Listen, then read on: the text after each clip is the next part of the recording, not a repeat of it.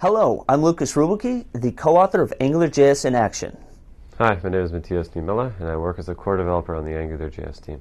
So the other day I was having dinner with a friend, and he said, Lucas, I've been doing HTML, CSS, JavaScript for quite some time, but AngularJS is so powerful. How do I approach it in a way that makes sense and is going to preserve my sanity?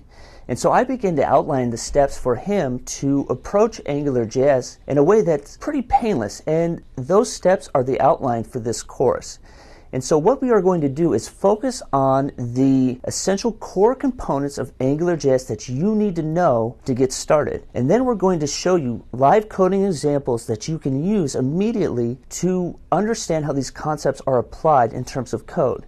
From there, we have a fully working application that you can take apart and put back together with exercises that we have prepared to really cement the things that you need to know to understand and start using Angular in your applications.